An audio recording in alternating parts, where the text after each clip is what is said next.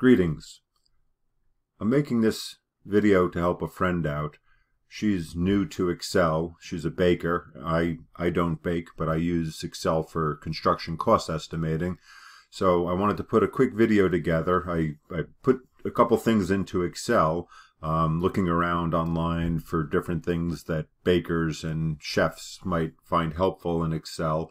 Um, so I so I built something and I'm going to share it with her. I haven't yet and I suspect after I it's so it's it's partially it's partially complete, but I'm not exactly sure how to complete it to help her exactly in her in her um, baking business, cookie baking business. Um, so it's going to be a two-step process. Hopefully, another video to follow. Um, but this video, what I want to do is just go through some of the basics of Excel and explain to her and anyone who's interested in how to um, build such a template as I did here. Um, there are a lot of templates out there. It, appears there are templates out there for re restaurant owners and things. There, a lot of the templates that I saw looked really big, um, and and even though they're ready to go, maybe they're maybe too big and not custom to exactly what somebody needs. So I think it's a good thing to build your own templates. That's what I do with my students in construction cost estimating. Um, so that's what I did here. And just with the basics of Excel, nothing particularly tricky, um, I could accomplish a fair amount.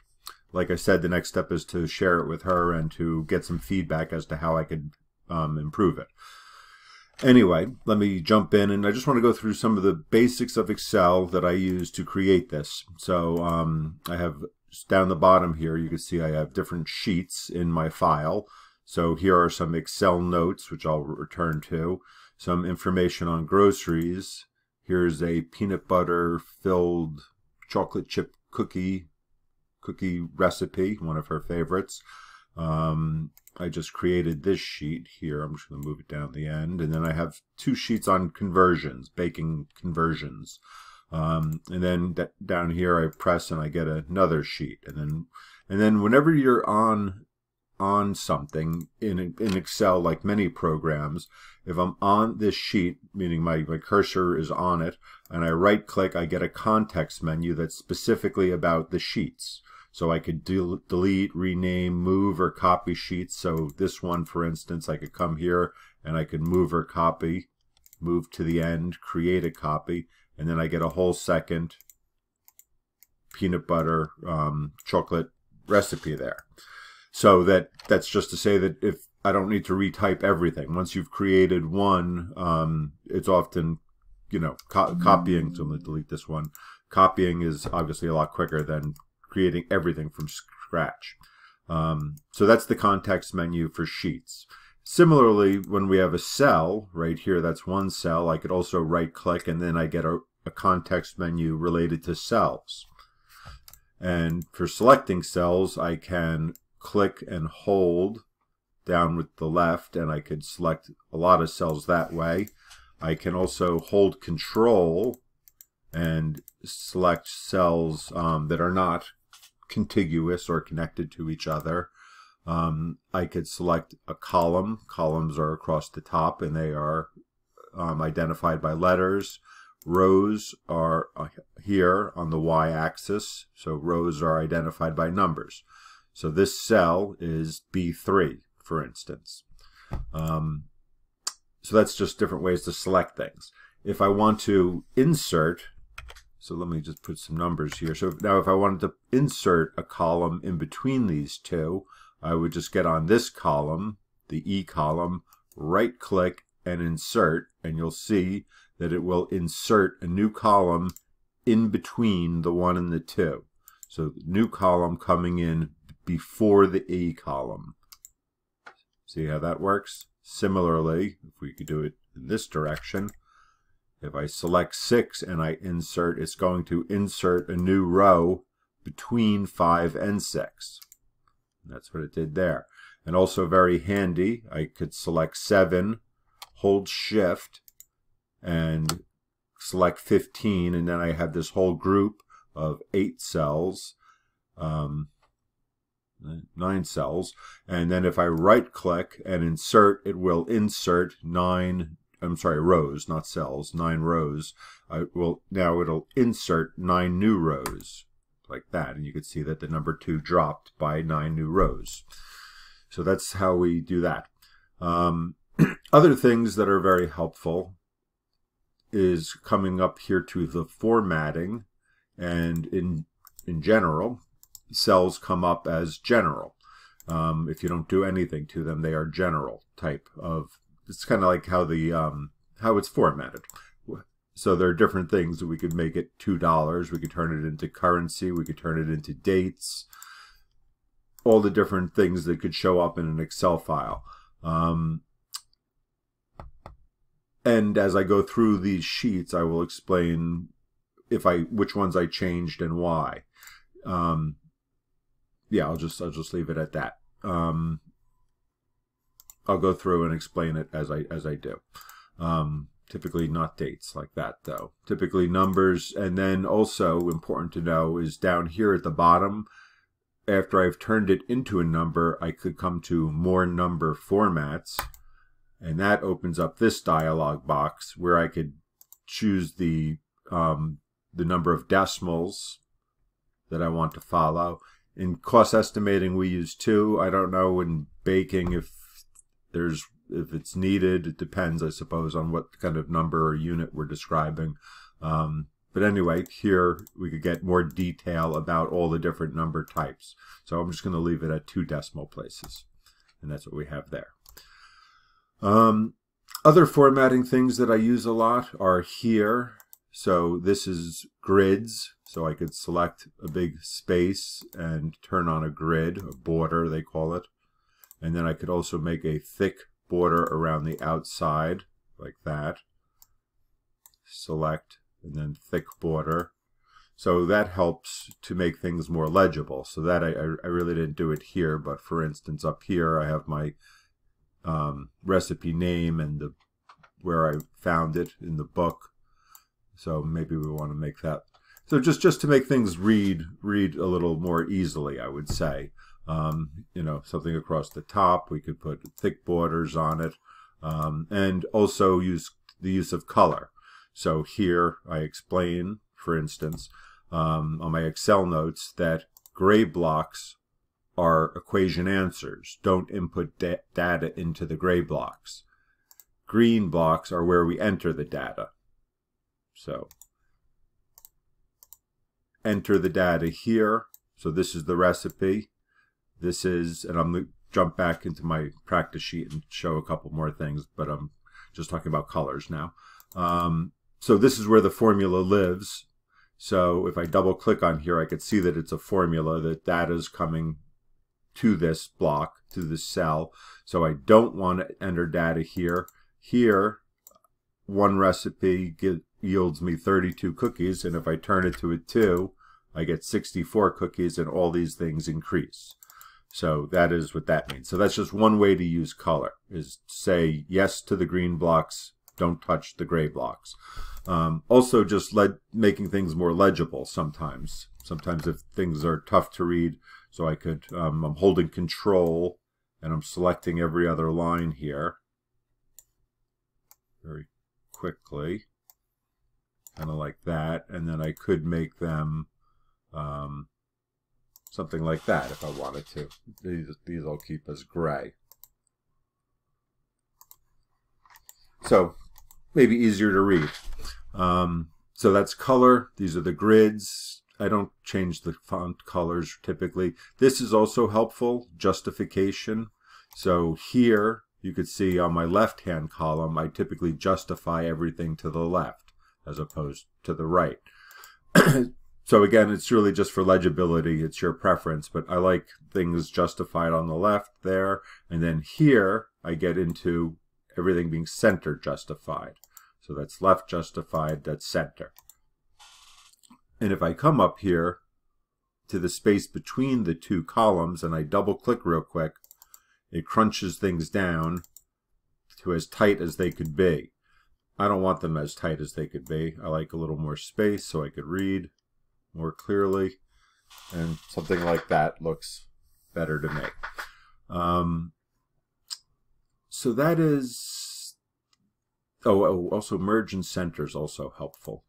Um, so, for instance, these two columns, um, this is just, just, I'm just going to say, um, only informational. And I'm going to come back and explain this after. so I'm going to select these two cells here. And then I'm going to go to merge and center. And it does just that. It merges the two cells and centers the information.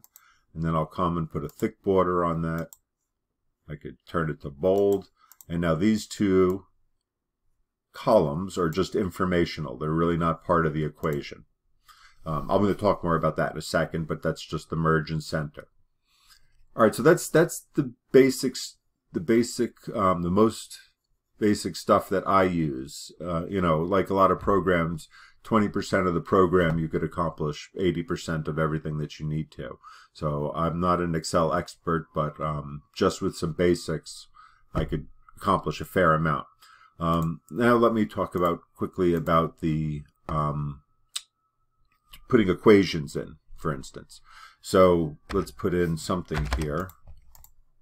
And let's turn this to the price, to currency. So $400, and this will be the quantity. So we have two objects that cost $400 each. And here, so in Excel, whenever you want to create an equation, you start with an equal sign. That is telling Excel that you are going to create an equation and you can there are different ways to do it. You could input numbers if you have a, a steady number that's part of the equation or you could select other cells. And I'm going to do that first. So I'm going to say that, that what I want is this cell star which is multiplying times this cell. Enter. So and if I had three of these objects now I would have $1,200. So that is, and then if I double click on this cell, it reads me back my formula. So if you're confused as to what a, a sheet is doing, you just double click and it'll, and it should begin to explain itself where, where numbers are coming from essentially. So this is saying it's equal to F16, which is here, F16 multiplied by D16. Um, another option is to put a number into that formula. So I could do equal this cell divided by, let's just do divided by, um, a given number. Call it 25. Enter. So now whatever comes here, 1200 there, it's going to get multiplied by this 3, and it's going to get divided by 25 for some reason.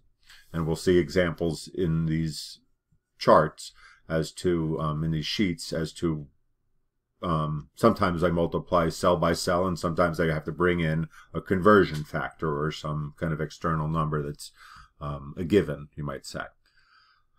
Um, another another thing. Oh, another helpful thing to do here. So if I'm on this 3 and I select that box, this little box comes at the very bottom right. I could get on that like so, left click, hold, pull it down, and it'll populate it with all threes. That is sometimes handy. Control Z to step backwards or undo here. So I'm just going to Control Z. Another helpful option is the same thing, but now I am going to hold the control button down. Once I press that control button, you see that little plus that's popping up right there? Hold the control button down, pull, and then we get sequential numbers. Also helpful. Um, oh, and then one more thing, a different way to add things up, popular or useful often is equal sum parenthesis, and then I could select this whole group of numbers, end parenthesis, enter. So 150 is the sum of all those numbers. So if we turn this one to 300, we should see this number increase by 297. Okay. Oh, this is also helpful to point out. Um, so we see these numbers. So that is a function of this co this column being crunched down too far. When we crunch it down and, we, and the numbers don't display properly, that's what we see. So I come up here and I double left click and it opens it up. So after after doing a lot of data entry or creating things, then I often come across the top here and make sure everything is displayed properly and nice and tidy. Um, students will often print PDFs where things look like this, and obviously you can't read it. It's useless. okay, so those that's the basic the basics of Excel. Um, now I'm just going to talk. I'm going to go through these pretty quickly. Like I said, this is a work in progress. Um, but for anyone who's new at Excel, new or and and wants to, you know, help with some recipe things, um, try their hand at it. This hopefully this is helpful. Um, so we talked about the gray and the green, the difference between the two. These things, I just sometimes when I Google things, how to do things, um, I just do take a quick screenshot or save an image, and I can just insert them here, insert pictures. Um, this is just a reminder. So there are two new things that I tried on this that um, were new to me. So I just as a reminder, because I forgot how I did it when I came back here. I just copy and pasted these in. So this Excel notes is my cheat sheet where I could write whatever I want and um, just like as it says, notes. Okay, I have four more sheets. I'm going to go through them pretty quickly now. So one is groceries. This is the cookie recipe. And then I have two on conversions. So this is the main one and what this one does is scales up recipes. So I have the name of the recipe, where what book it was from.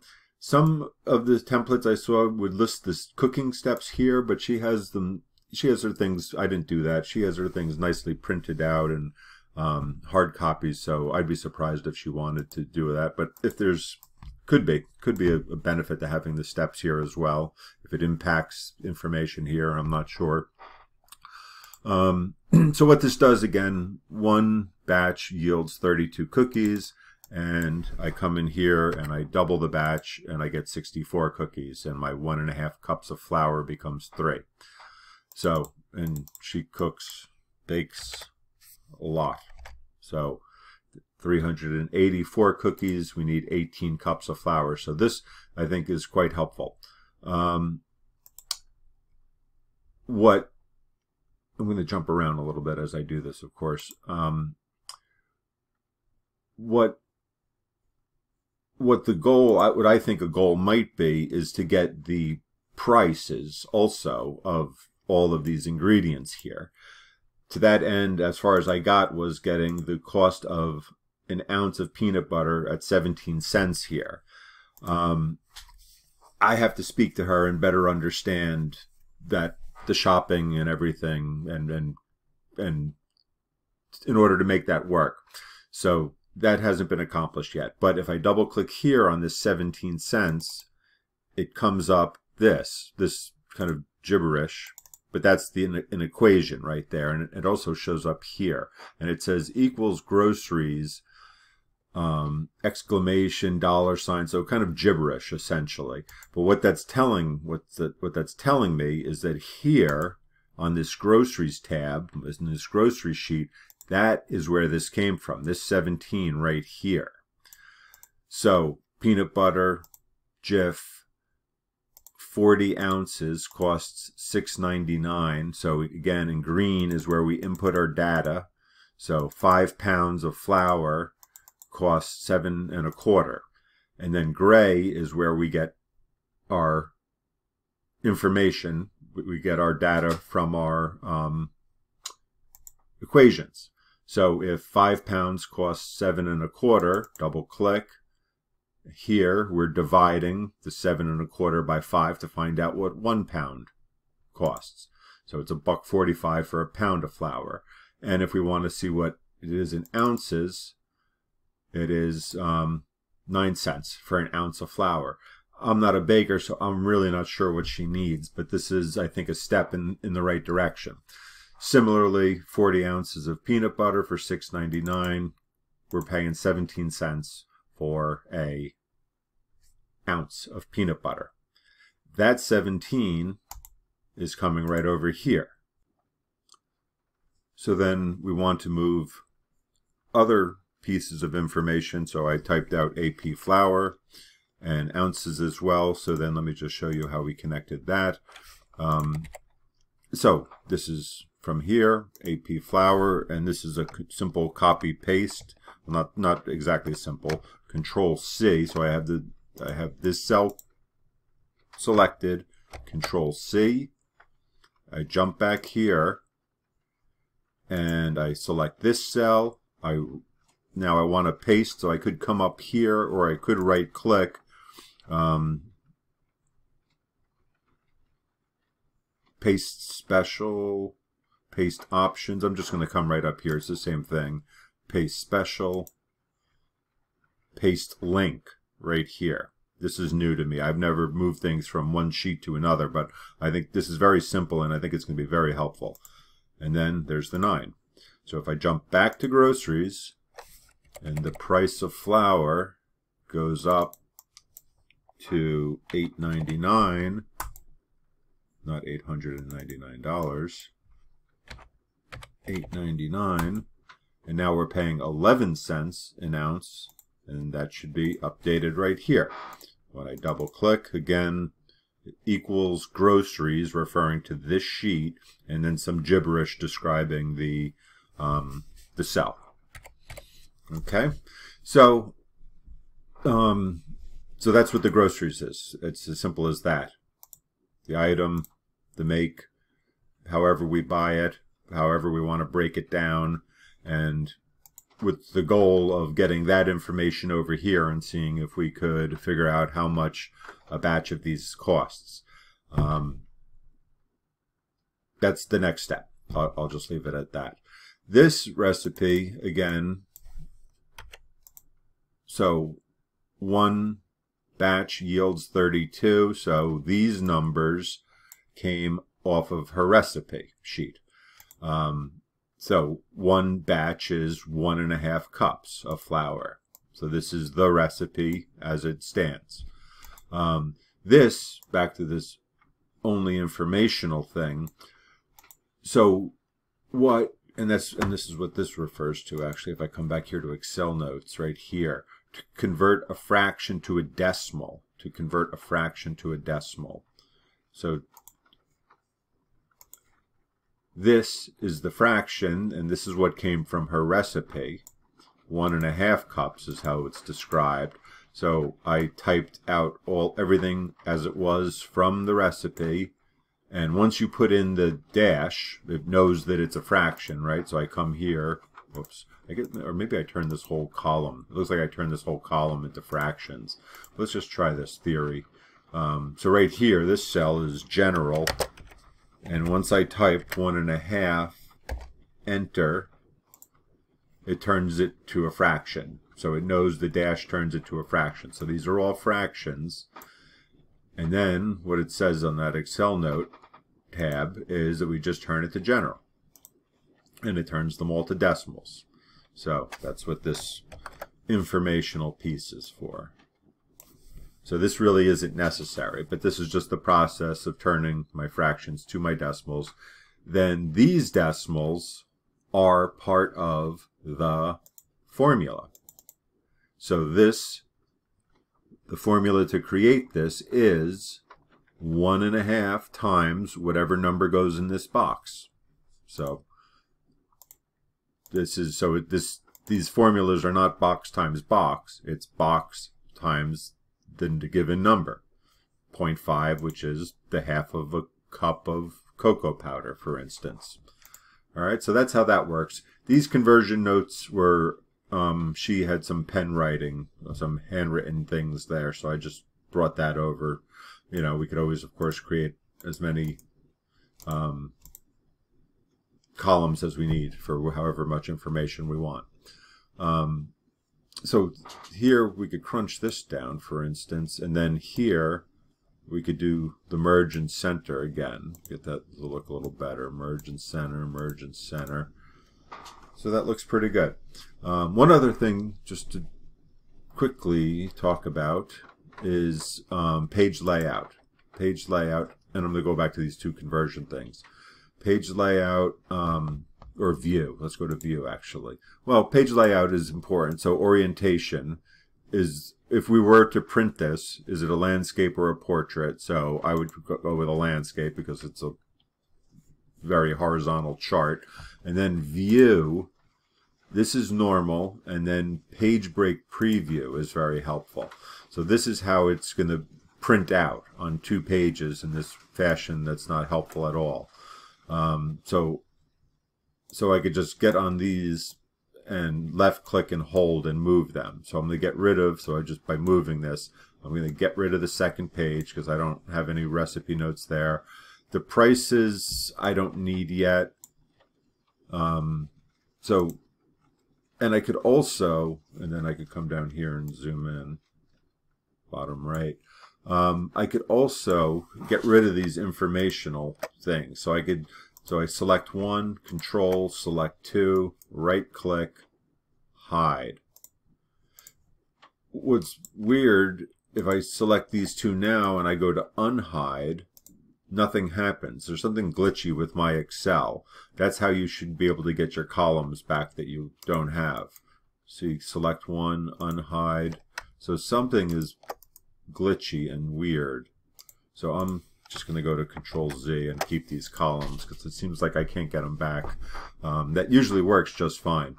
Anyway, so this is what the sheet will look like now. And then I can go to File, Print. I could print it. Um, I could print it to a printer or I could print a PDF of it if I want a digital file that I could send to somebody, for instance, that I don't want to sell, send an Excel worksheet. So then view, back to normal.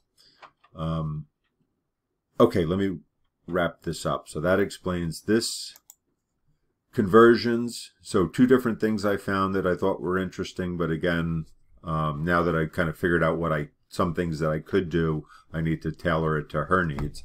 Um, so I, looking around, I discovered that 1.91 cups of flour equals one pound. So there are things that the recipes call for in cups, typically in cups and tablespoons and the like. And then there are ways that we shop, which might be different. Um, so getting all that to coordinate is kind of, I think, one of the big challenges and letting Excel do the work for you is what we're obviously trying to accomplish here. So, um, again, enter on the green. We enter on the green and then we get results.